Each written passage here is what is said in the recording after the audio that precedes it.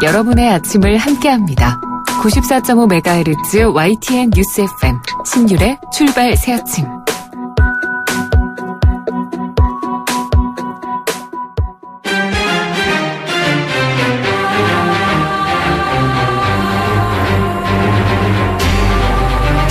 매일 아침을 뉴스로 깨웁니다. 신율의 출발 새 아침. 더불어민주당 전당대회에서 추미애 후보가 새로운 당대표로 선출됐습니다. 이로써 더불어민주당 내 친노 친문 세력의 주류임을 다시 한번 확인할 수 있었다라는 분석이 많은데요. 또 최고위원 대부분도 친노 친문 세력이 진출했고요. 시도당 위원장 16명 중에 13명이 친노 친문 성향 인사인 것으로 알려져서 이제 더불어민주당의 주류는 명실상부한 친노 친문 세력임이 확실해졌습니다. 이런 상황에서 문재인 전 대표 당내 대선 후보의 입지를 확실히 했다라고 하는 어, 그런 얘기들이 많은데요. 다시 말해서 제1야당의 대선 후보는 이미 정해진 것이나 마찬가지다. 이런 분석이 주류를 이루고 있습니다. 이런 상황에서 추미애 신임 당대표는 손학규 전 대표와 같은 잠재적 대권 주자들과 만날 것으로 알려지고 있는데 이들 대권 주자들과 만나서 어떤 얘기가 오갈지는 모르겠습니다만 어, 사실 대권 주자들의 입장에서 상당히 반응을 보이기가 힘들 거라는 예상도 할 수 있습니다. 그래서 하는 말인데요.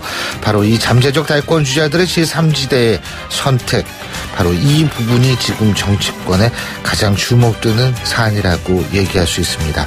신율의 출발 새 아침 오늘 순서 시작합니다.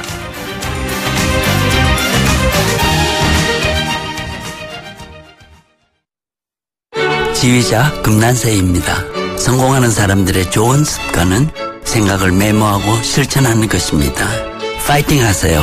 여러분의 멋진 미래를 양지사가 응원합니다. 지난 40년간 양지 다이어리와 함께 해주셔서 감사합니다. 나의 역사 속엔 언제나 양지 다이어리. YTN 라디오 신율의 출발 새 아침. 지금까지 들어온 뉴스 정리해 보겠습니다. 백병규 시사평론가 스튜디오에 나와 계십니다. 어서 오십시오. 안녕하십니까. 예. 자, 제가 지금 말씀드렸지만 더불어민주당의 추미애 후보가 이제 새 당대표가 됐죠. 그런데 이제 처음 한 얘기가 사드 배치를 당론으로 정하고 세월호 특조위 조사 기한을 연장하겠다 이거죠. 그렇습니다. 예. 어제 그 언론과의 인터뷰에서 그 추미애 신임 대표 원래 그 사드 배치 반대가 당론이었다. 당론을 분명히 하겠다 이런 입장을 밝혔습니다. 예. 사드 배치 반대 목소리를 이제 그 분명하게 내겠다는 것을 이제 밝혔고요. 또 그 세월호 그 특조위 조사 기한을 연장해서 그 진실을 밝히도록 하겠다는 입장도 밝혔습니다. 강한 야당 이 정부 여당과 맞설 것은 맞서겠다 이런 입장을 이제 분명히 한 것으로 해석이 되고 있죠. 그렇죠. 오늘 첫 일정이 현충원 찾는 거죠. 그죠? 그렇습니다. 예. 근데 이승만, 박정희 두 전직 대통령의 묘소도 참배할 예정이다. 이렇게 보도가 돼 있어요. 네, 더불어민주당 이제 그 문재인 전 대표가 이제 처음으로 그 현충원을 찾으면서 그 이승만 박정희 전 예. 대통령 묘역도 이제 그 참배하지 않았습니까? 이 추미애 대표 또한 이제 그것을 이어갈 예정인데 할 말은 하되 국민 통합을 위해서 그 포용을 좀 해야 한다면서 이 전직 대통령에 대한 그 예우를 갖춰서 이들 두 전직 대통령의 그 묘역도 참배하겠다 이런 입장을 밝혔다고 하죠. 어, 물론 이제 외연확대라는 게 중요하고 하죠. 그 외연 확대가 중요한데 문제는 너무 친노 친문 일색이 아니냐 이런 분석이 많이 나오지 않습니까? 그렇습니다. 이 시도위원장 가운데 그 호선토록 되어 있는 그 5개 권역별 최고위원은 뭐 시도위원장 대부분이 앞서 말씀하신 것처럼 어, 주류 그 친문 인사들이어서 모두 그 친문 인사가 될 것이다. 이런 예상은 이미 그 예고됐던 일이었고요. 예. 여기 이제 그827 그 전당대회장에서 그 확정된 여성 청년 등 이른바 그 이제 부문별 어, 최고위원들 이 문재인 영입 인사들이 차지를 했습니다. 이 청년 최고위원회는 이 문재인 전 대표 그 영입 인사 2호인 이 초선의 김병관 의원 이분은 이제 또 그 재산이 가장 많은 것으로 유명하죠. 예, 이분이 포함되고 안 되고에 따라서 평균 재산액이 달라지더라고요. 맞습니다. 그러니까는 이 청년 예. 대표치고는 굉장히 특이한 청년 대표인 셈인데요. 예. 여성 최고위원회는 그 원외 그 양양자 그 의원이 이제 각각 선출이 됐습니다. 예. 노인 부분 최고위원회는 그 삼선 의원 출신이 그, 어, 이 정세균계의 그 송현섭 전국 노인위원장이 그 당선이 됐죠. 음, 그렇군요. 어쨌든 이번 더불어민주당의 전당대회 그 저 분당 과정에서 왜 대거 이 온라인으로 입당했던 이 온라인 당원들의 힘이 결국은 판사를 갈랐다 이런 분석이 많죠. 네, 온라인 이제 그 권리 당원이라고 이제 특별히 그 이야기를 좀 하고 있는데요. 예. 어, 이분들이 이제 그 판사를 갈랐다 이런 분석들이 나오고 있죠. 이제 권리 당원 하면 최근 1년 동안에 그 6개월 이상 그 당비를 낸 당원들 어, 월 천 원 이상의 당비를 내면 되죠. 이제 이런 당원들을 말하는 건데 지난해 연말과 말씀하신 것처럼 올 초그 분당을 전후해서 그 대거 입당한 이제 온라인 권리 당원들 이들 대부분은 그 이제 친문 성향으로 분류가 되고 있고요. 어, 전체 권리 당원 그 19만 9천여 명 가운데 한 3만 5천여 명 정도인데 이 참여율과 결집률이 상당히 강합니다. 예. 그래서 영향력을 좀 많이 발휘- 발휘 했다 이런 분석들이 나오고 있는데요. 이 추미애 새 대표 같은 경우에는 그 대의원과 그 권리 당원 일반 여론조사 그 세 부문 투표에서 모두 어, 다른 두 후보에게 앞섰지만 이 권리당원 투표에서 그 61.6%를 득표를 했습니다. 예. 아, 다른 부문보다도 그 10% 포인트 이상 더 득표를 한 것이죠. 예. 이제 여성 부문 최고위원 선거에서 이 재선의 그 유은혜 후보 경우에는 이 전당대회 그 현장 연설을 굉장히 좀 잘했다고 하죠. 그래서 예. 대의원 투표에서는 그 52대 47로 이 양양자 후보를 좀 앞섰는데 그러나 그 양양자 후보가 그 권리당원 투표에서는 무려 66.54%의 그 압도적 지지를 받았습니다. 그래서 결국은 그 양양자 후보가 됐고요. 이 청년 부분도 마찬가지인데요. 그 이동관 후보와 그 김병관 의원 이 대의원 투표에서는 좀 엇비슷 했습니다. 그러나 이 김병관 후보가 권리당원 투표에서 역시 62.7% 상당히 높은 득표율로 결국은 당선이 됐죠. 자, 김종인 이제 전 대표죠. 맞습니다. 김종인 전 대표는 이번 결과에 유감을 나타냈다고 하는데 뭐 이분은 뭐 예. 전이나 끝이나 그냥 다 유감을 좀 많이 나타내고 예. 있는 편이죠. 네, 27일 전당대회 그 끝나자마자 그 비리 이 활동을 같이 한 이제 10여 명의 그 비리위원들과 함께 저녁 식사 자리를 같이 했는데 여기에서 그 김종인 전 대표 결국 이런 결과가 나왔다. 이 권리 당원들 표심 때문에 결과가 좀 많이 애곡됐다고 이제 그 이야기를 했다고 그러고요.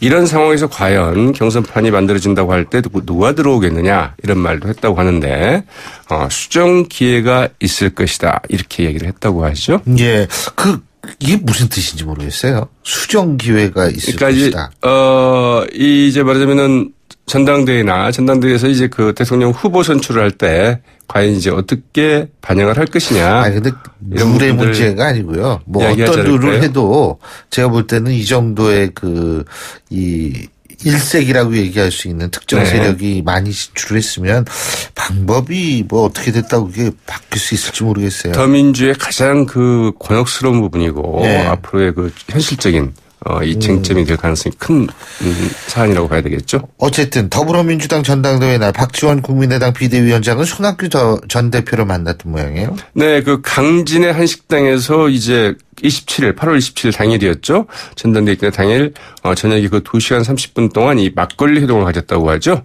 네, 그 손학규 전 고문과 이제 박지원 그 비대위원장 예.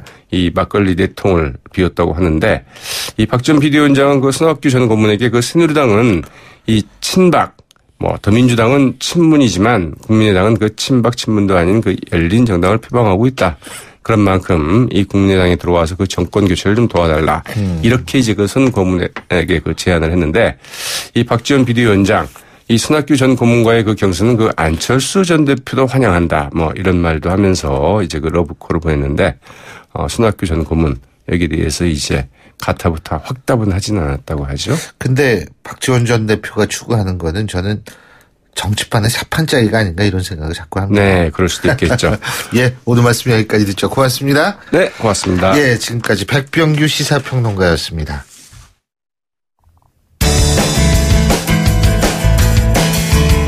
여러분은 지금 FM 94.5MHz로 방송되고 있는 신율의 출발 새 아침을 듣고 계십니다.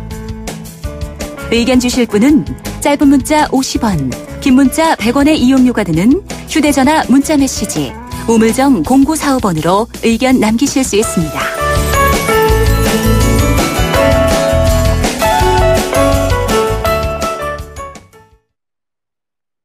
더불어민주당의 당, 새 당대표에 TK 출신 추미애 의원이 선출됐다는 사실 저희가 수차례 말씀을 드렸는데요. 추미애 지도부 출범의 의미, 그리고 장후 바라는 전까지 더불어민주당 비대위원을 지내셨죠? 양승조 의원 전화 연결해서 입장 들어보겠습니다. 양 의원님 안녕하세요. 예, 안녕하세요. 양승조 의원입니다. 예, 예. 자, 새로운 지도부가 출범을 했는데 김종인 대표는 유감을 표명할 정도로 지금 좀이 어, 이변이 없었다 이렇게 표현을 할 수밖에 없을 것 같은데 네. 사실상 친문당이 됐다. 뭐 어떻게 보십니까? 글쎄, 이변이 없었다는 말씀은 동의할 것 같은데요. 예. 네, 사실상 친문당이 됐다는 거는 예. 예, 동의하기 어려운 점이 있습니다. 왜요? 아, 실제로 전당대회가 아시다시피 14,000여 명의 현장 대의원 투표하여 예. 또한 19만 명에 이르는 권리당원 투표, 예. 일반 국민 여론조사, 일반 당원 투표에서 정해졌는데요. 예. 예, 결과적으로 예를 들어서 문재인 전 대표님과 친한 관계 또 그분과 함께하는 그 세력이 예, 실질적으로 지도부를 구성할 수는 있겠지만 해서 친문당이 됐다는 건 동의하기 어렵고요. 우리 당원과 그 국민 여론조사에서 선출이 지도는 만큼 친문당이다. 예, 그렇게 더 씌우는 것은 약간 무리가 있지 않은가 어. 그렇게 생각하고 있습니다. 예. 아니 뭐 그거 더 씌우지 않아도 이제 가장 중요한 것이 전 뭐라고 생각하냐면요. 네네. 이 대선 후보들 있지 않습니까? 잠재적 네네. 대선 후보들. 예를 들면 손학규 전 대표라든지 박원순 시장이라든지 이런 분들이 지금과 같은 당 권력 구조 내에서 어, 더불어민주당의 대권 경선에 참여할 것인가 이 부분 아니겠어요?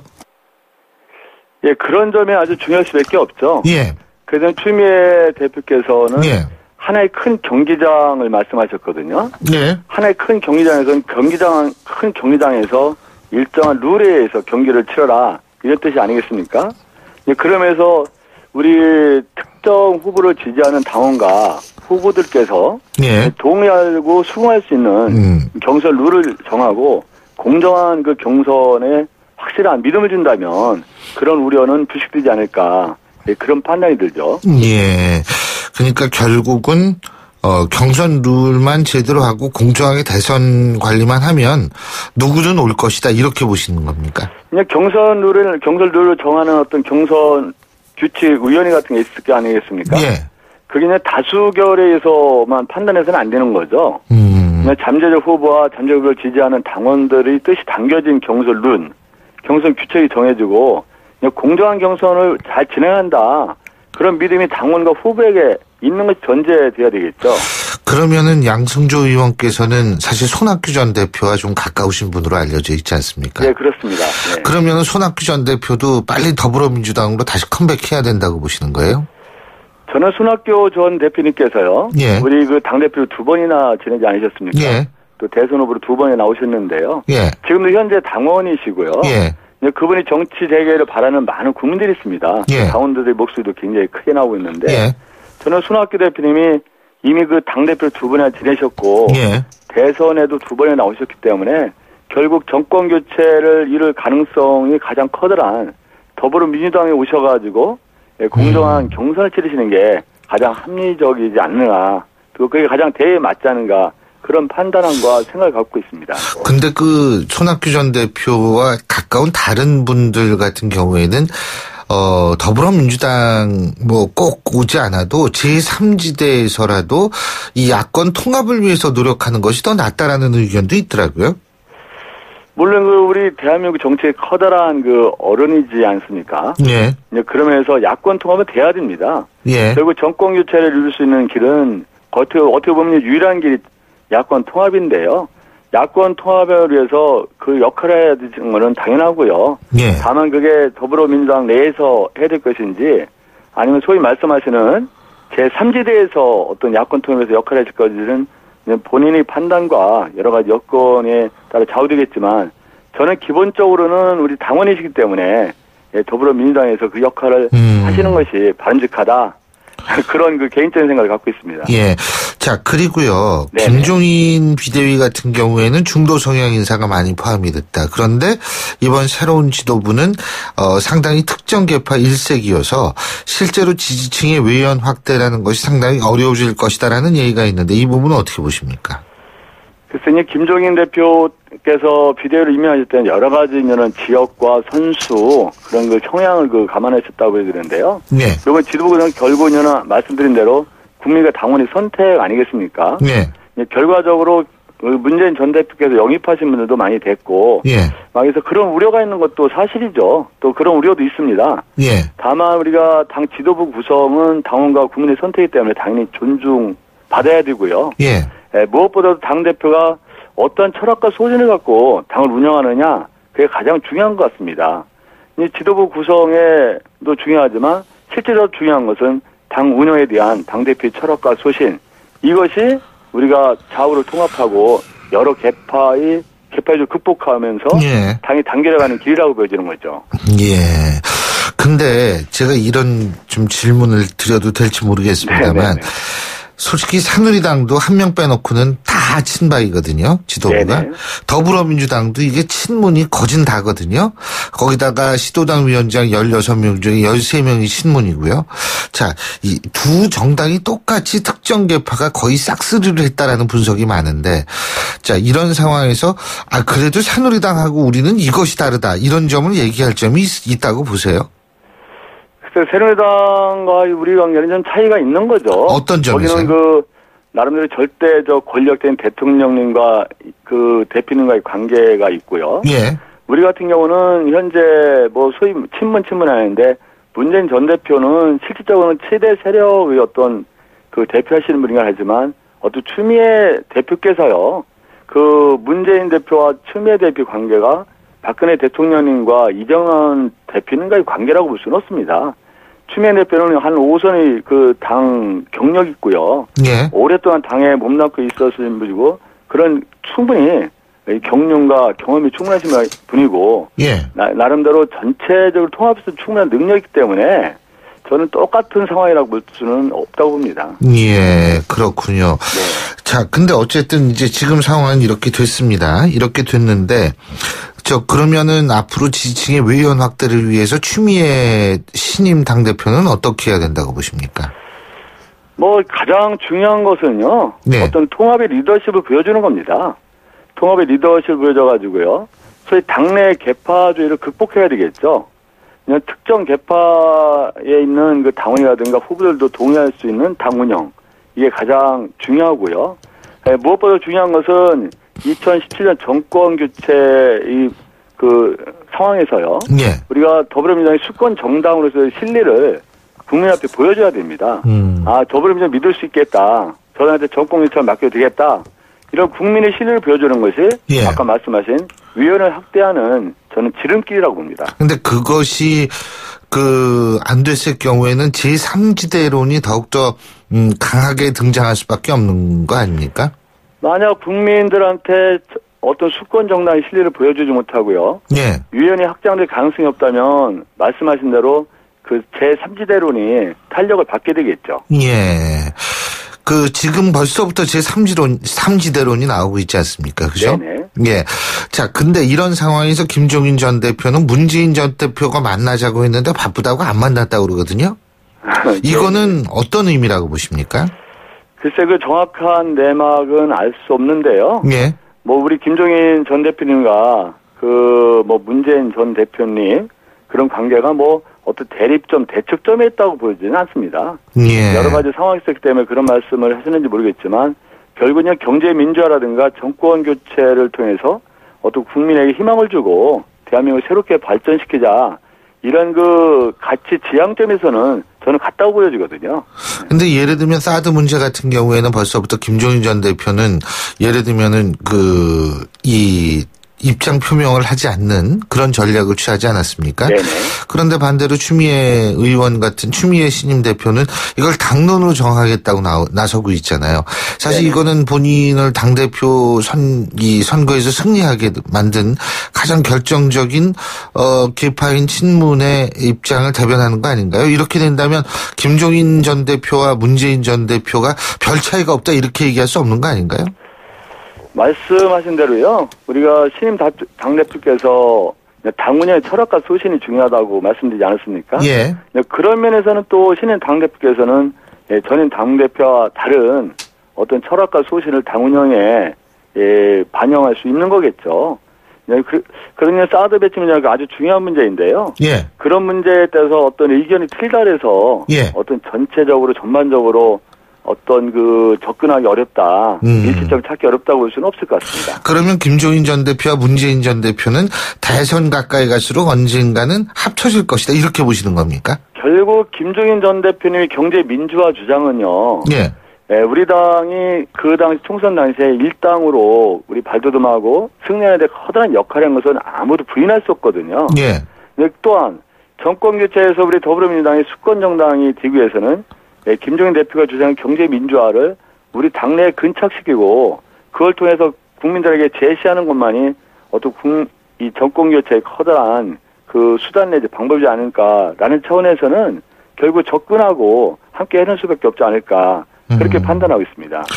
결국 그러면은 그 얘기는 문재인 전 대표가 거의 당대 당의 대선 후보가 될 것이다라는 전제에서 말씀하시는 거 아니에요? 현재는 아니죠.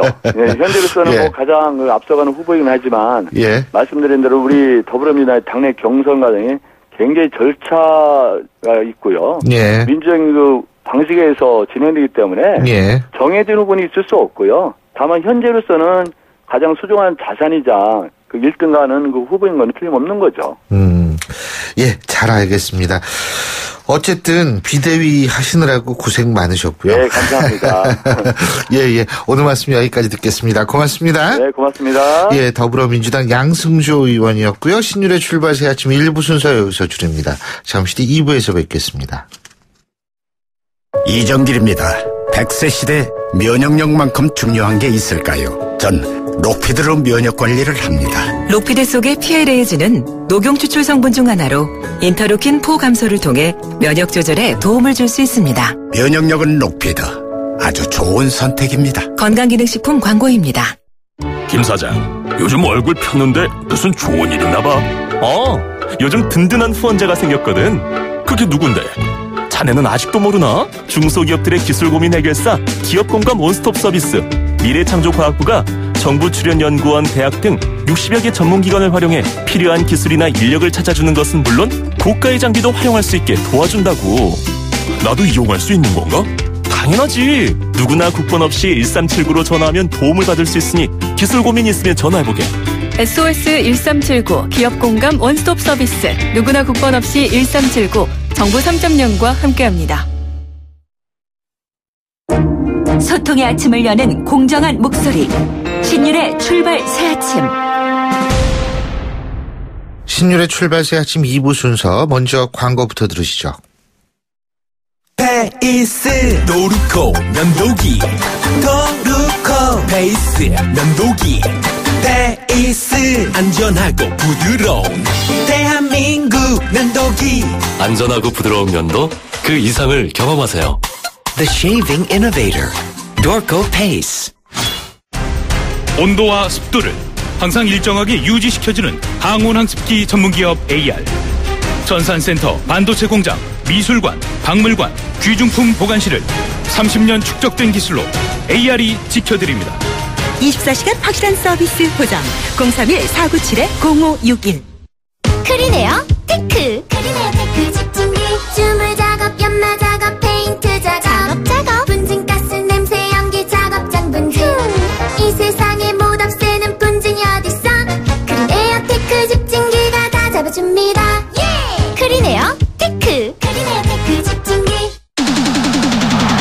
선수 200만 원이 생겼어요. 좋은 일에 투자할 절호의 찬스네요. 아, 그럼 크라우드 펀딩을 해야죠. 투자한 돈도 키우고 유망 기업을 키우는 보람도 남다르거든요. 크라우드 펀딩이요? 아, 누가 잘하나요? 기업을 잘 아니까 크라우드 펀딩은 IBK 투자증권이죠. 원금 손실에 유의하세요. 세상에 없던 자동차 전시장이 온다. 재규어 랜드로버 공식 딜러 KCC 오토모빌 서초 전시장 grand open. 지상 8층 지하 2층의 대규모 전시장 KCC 오토모빌 서초 전시장에서 완벽에 가까운 특별함을 만났어요. 분당 일산 원주 제주 성남 서초 양재 네트워크 운영 중. 내 손으로 직접 기른 신선한 오렌지에만 파머의 이름을 허락한다. I am farmer. 농장에서 온 pressed 주스 델몬트 파머스 주스바 여름도 잠시 쉬어갈 수 있도록 slow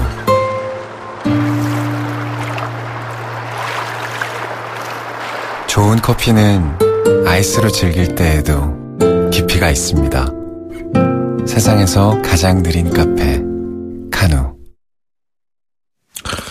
예, 다시 월요일이 돌아왔습니다. 7시 38, 아니, 7시 39분 지났네요. 자, 이런 상황, 어, 7시 39분 지나는, 어, 월요일 아침 출근길 교통 상황 알아볼까요? 나성수 캐스터?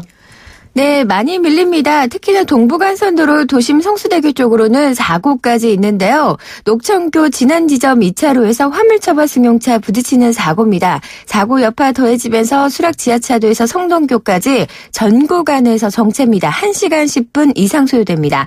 분당 수소로 청담대교 쪽으로 복정교차로에서 청담대교 남단까지 밀리고요. 경부고속도로 부산 쪽 한남에서 서초 구간 밀립니다. 또 신갈분기점 5차로 승용차가 고정으로 서 있어서 서울 요금 부터 밀리기 시작하고요. 기흥 휴게소에서 남사까지도 15km 구간에서 정체입니다. 신율의 출발 새 아침 교통정보였습니다. YTN 라디오 신율의 출발 새 아침. 이 지난 주말부터 야 언제 더웠나 이런 생각이 들 정도로 아주 선한 날씨가 계속되고 있는데요. 올 여름 아주 뜨거웠던 날씨만큼이나 뜨거웠던 이슈 바로 전기요금의 누진제였죠. 그래서 당정이 전기요금제 바꾸자 뭐 이렇게 지금 나서고 있고 이러면 올해 12월부터 바뀐 전기요금 개편안이 적용될 수도 있다고 하는데요. 자 좀 자세한 얘기 나눠보겠습니다. 에너지 시민연대 석광훈 정책위원 전화 연결합니다. 안녕하십니까? 예, 안녕하세요. 예. 뭐 이러면 12월부터 바뀌는 모양이에요. 그죠? 네. 뭐가 바뀌는 거예요, 그러니까? 어, 사실 아직 논의가 시작 단계라서 지금 구체적인 수준의 의견이 오고 가지는 않는 것 같습니다. 예. 다만 지금까지 정황으로 볼 때는 그 정부 당국인 산업부는 좀 가급적 현재 누진제를 변화 없이 유지시키려는 입장인 것 같고요. 예.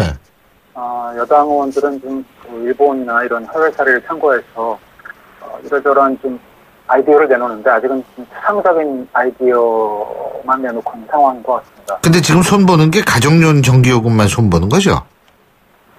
어, 지금 뭐, 뭐, 가정용, 그러니까 주택용 외에도 뭐, 다른 산업용이나, 어, 농사용, 어, 교육용 같은 것들도 손을 보겠다라고 했는데, 과연 그, 그걸 다 할 수 있을지, 아. 솔직히 좀 의문스럽습니다. 근데요, 지금 석광훈 위원께서 보실 때, 예? 어, 전기요금이 어떤 방향으로 바뀌어져야 된다고 생각하십니까? 지금 뭐 말들만 나오는 차원에서 이런 제안을 하시는 것도 중요할 것 같거든요. 어떻게 보십니까? 어, 일단, 주택용 누진제 같은 경우는 너무나 좀 터무니없이, 아, 배율이 높고, 또, 지금 기후변화로 인해서 지금 예를, 들- 예를 들면 지금 여름철 폭염이, 아, 지금 우리나라뿐만 아니라 전 세계로, 좀, 전 세계적으로 일어난 현상입니다. 그래서, 예. 어, 주택용 누진제 같은 경우는 매우 현실적인 문제이기 때문에 먼저, 어, 완화를 해야 될 것 같고요. 예. 하필 다른 거를 핑계로, 어, 미루는 거는 맞지 않다고 봅니다. 음. 그 다음에 지금 뭐 선택형 요금제 같은 것들이 지금 이야기가 나오고 선택형 요금제? 네네. 그러니까 좀 뭐 휴대전화처럼 이렇게 소비자가 선택을 해서 그 예를 들면 599 요금제 그럼 59,900원이면 전기를 그냥 예? 엄청나게 마음껏 쓸 수 있는 그런 요금제 말씀하시는 거예요? 예? 그래서 근데 이제 그런 건 사실은 그 어, 아마도 그런 방식으로 가기는 어려울 것 같고요. 예. 그가 좀뭐 예를 들면 지금 일본처럼 다른 뭐 인터넷이라든가 휴대전화 요금제와 결합된 상품들 예. 아, 뭐 이런 것들이 사실 나와야 될 텐데요. 문제는 아. 어 그런 선택형 요금제가 나오려면은 어 사실 아 다양한 전력 시장에 다양한 그 어, 사업자들 경기 사업자들이 있어서 이 그 다양한 기술과 다양한 업종을 배경으로 해서 좀 어, 그런 상품들을 내놓아야 되는데 문제는 이게 국가 독점 전력 시장에서는 그런 요금제가 나오기 어렵습니다. 왜냐하면은 아, 이 국가 하나의 그 사업자는 보통 이제 그 자기가 그 잘하는 기술이 있고 예. 그 기술의 이해관계가 맞춰져 있기 때문에 여러 가지 그 요금의 변화를 잘 도와 그 원하지 않습니다. 그래서 실제로 어, 지난 그 어, 미국이라든가 유럽에서 지난 반세기 동안 실제로 겪어온 그 경험입니다. 그래서 어, 사실은 그런 선택형 요금제하고 현재 그런 그 한정 같은 국가 독점 사업자하고는 일종의 이제 궁합이 맞지 않습니다. 지금 미스매치가 생기게 됩니다. 그래서 사실은 지금 어떻게 보면 맞지 않는 이야기를 하고 있는 상황입니다. 근데 지금 말씀하신 거 들어보면 그러면은 전력 사업의 민영화를 해야 된다 이런 말씀이세요? 어, 그러니까 민영화의 찬반 여부를 떠나서요. 그 만약에 이제 우리가 지금 그 선택의성 요금제라든가 지금 산지국들 같은 그런 요금제를 정말 하고 싶다고 한다면은 예. 어, 경쟁 체제에 대해서 논의를 해야 됩니다. 근데 이런 이런 거는 지금 사실 현재 지금 그 정부 여당하고 아, 정부와 여당 간의 그런 당정협의 같이 그런 소규모의 그런 그 협소한 논의 가지고는 안 될 것 같고요. 저는 예. 보다 광범위하게 범국민적인 의견 수렴 과정이 필요합니다. 그래서 사실은 아, 그런 선택형 요금제를 위해서 지금 당정 협의로 결정하겠다 뭐 이렇게 얘기를 하고 있는데 이것은 맞지 않고요. 아마 그것은 어, 특히 이제 지금 임기 말 이번 정부가 임기 말 상황인데 어, 이 정부에서 논의되는 것보다는 차기 정부로 논의하는 것이 타당하다고 생각합니다. 하지만 일단 할 수 있는 거는 해야 될 거 아니에요. 그렇죠. 지금 당장 급한 거는 당연히 아, 노진제를 완화시키는 것이 조금 더 좀 현실적으로 어, 그 해결 현실적으로 좀 급한 상황이라고 생각합니다. 현실적으로 누진제를 그러면은 몇 단계로 만드셔야 된다고 보세요? 대부분의 노- 노진제를 사용하는 국가들이 대부분 3단계죠. 그, 예, 뭐 기껏해 2, 3단계. 그러니까 뭐 단계보다도 중요한 게 이제 요금 배율인데요. 예. 우리가 지금 11.7배까지 지금 차이나지 않습니까? 예. 대부분의 국가들이 지금 두 배를 넘치지 않습니다. 대부분 기껏해야 1.6배, 1.8배 뭐 이런 수준인데요.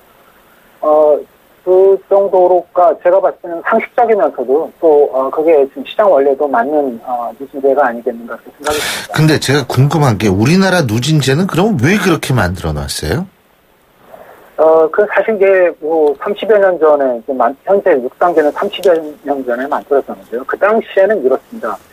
그러니까 중화공업을 육성하기 위해서, 어, 석탄과 원전 같이 이제 그, 그 연료비가 저렴한 그런 그 이른바 이제 기저부하 발전 설비를 의 이용료를 최대화시키고 그 대신 이제 피크 시간대에는 피크를 최대로 억제시켜서 다른 연료비가 비싼 발전기를 줄이자 이런 것이 이제 정부의 정책이었습니다. 예. 그러다 보니까 이제 그런 극단적인 형태의 이제 일종의 수요 관리 요금제를 적용을 시켰는데요.